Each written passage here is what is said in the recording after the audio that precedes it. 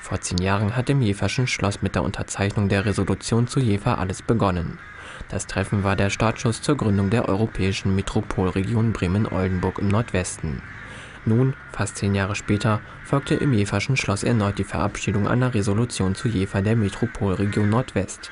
Eine neue Wanderausstellung zeigt auf insgesamt 25 großen Bildtafeln beispielhaft, wie viele Schätze, innovative Ideen und kluge Köpfe die Metropolregion zusammengeführt hat